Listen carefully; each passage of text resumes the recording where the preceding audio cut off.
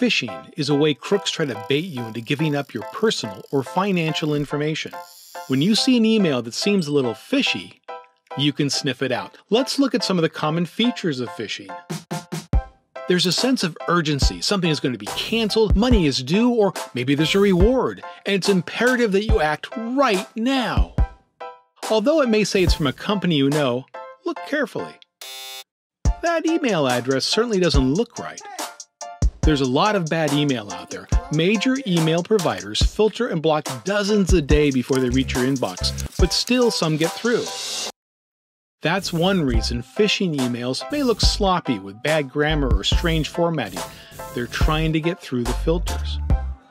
Some phishing emails will include an attachment. Never open attachments you weren't expecting, even if they appear to be from somebody you know and trust. If you receive a surprise attachment, reach out to them. Confirm the attachment is legitimate before you open it. The same is true for links in email. If you mouse over one, you can see where the link is going. That looks fishy. Instead of clicking the email link, it's safer to go to the company homepage through your browser. So, what should you do? Reporting it will help block other attacks like this, and should move the email out of your inbox. If not, you know what to do. Delete it. For more, go to support.microsoft.com slash security.